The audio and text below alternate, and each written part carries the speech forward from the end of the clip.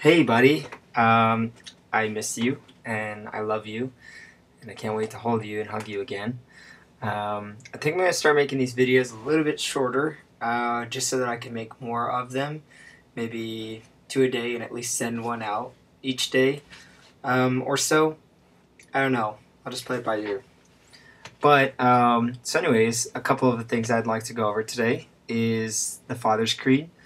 Um, I will try to live the life I want for you so you can be ex- inspired to live your life to the fullest.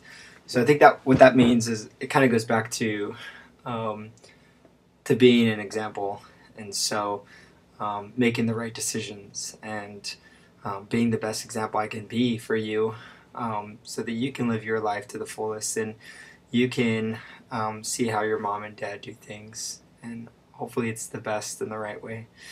Um, I love you, little guy.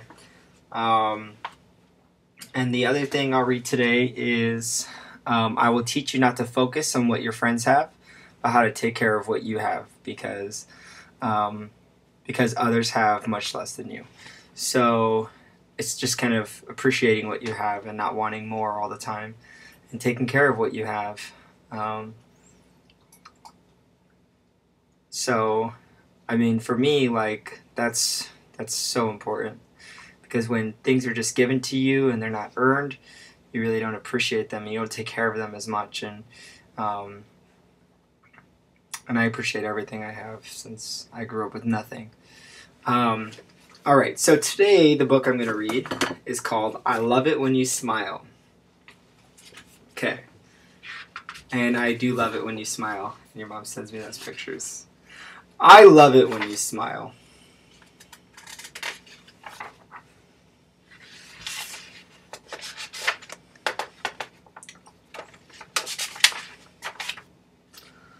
It was a lovely summer morning, but Roo was feeling grumpy, and he didn't know why. He was feeling so grumpy that he didn't even want to play.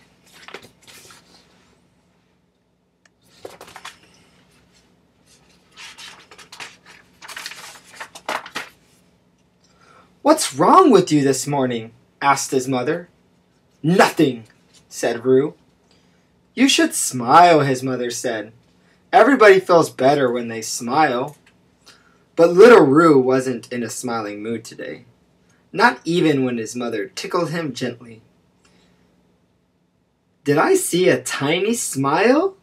she asked. Just one? No, said Roo. You didn't. Little crumpalump.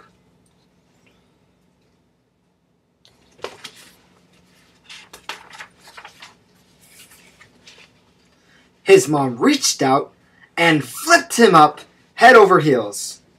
It was the kind of game little kangaroos love to play. but would it work this grumpy morning? Look at that face. Love how they're good at like making the expressions. No, little Roo. No. Little Roo did not smile. Not even a teeny weeny bit. His mother skipped into a hollow tree where they liked to play. She popped her, her head through a hole in the trunk. Smile! I still don't want to, said Little Roo. Oh, his mom is trying hard to make him smile.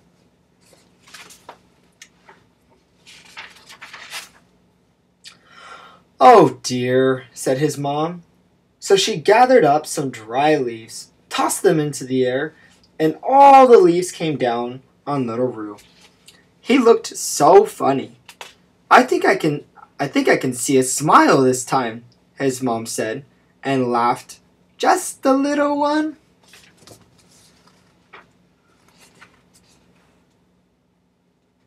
Based off of that face, I'd say no.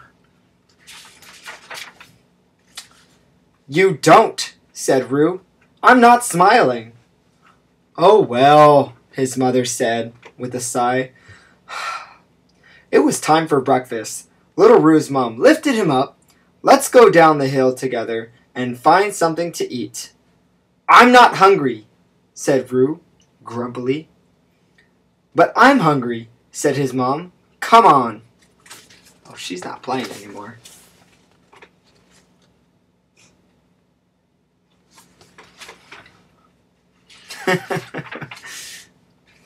Hold on tight. And off they went.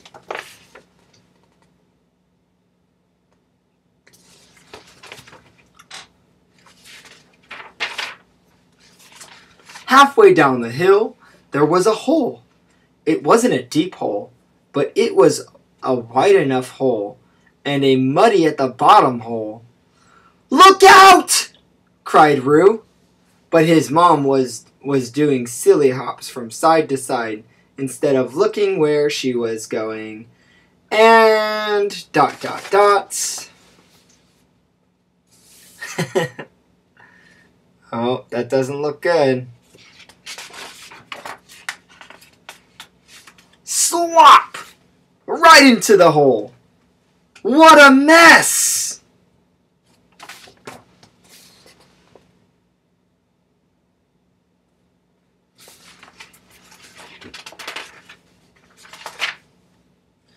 Roo himself was muddy all over.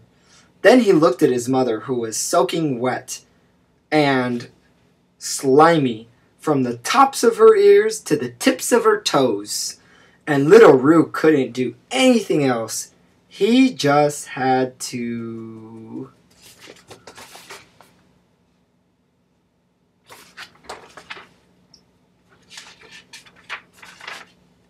Smile. I love it when you smile.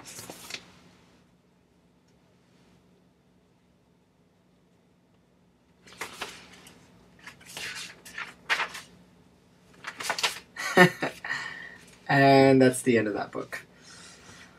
It's a good book. And you know, someday we're some days we're gonna have those moments where we're grouchy and we don't want to smile or we wake up tired. Um, but it's good. I always feel happy after I smile. Okay. And I'm also gonna read a little book. Five Little Ducks. Five little ducks went swimming one day over the hills and far away. Mother Duck called, Quack, quack, quack, quack. But only four little ducks came back.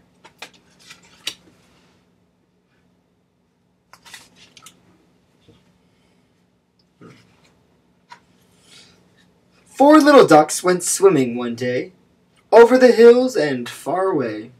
Mother Duck called, Quack, quack, quack, quack. But only three little ducks came back.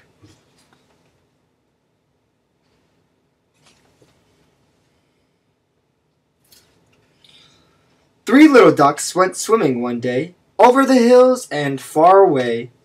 Mother Duck called, Quack, quack, quack, quack. But only two little ducks came back.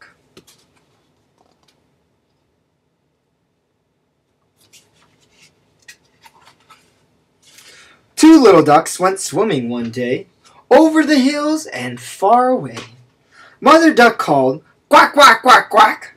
But only one little duck came back. Oh. One little duck went swimming one day over the hills and far away. Mother Duck called, Quack, quack, quack, quack. And thank goodness, all five little ducks came back. Quackity quack quack. The end. Alright, Ezekiel. I love you and I hope you have a good night. And I hope you hear my voice well. I hope that when I see you, you recognize me. Love you, little guy.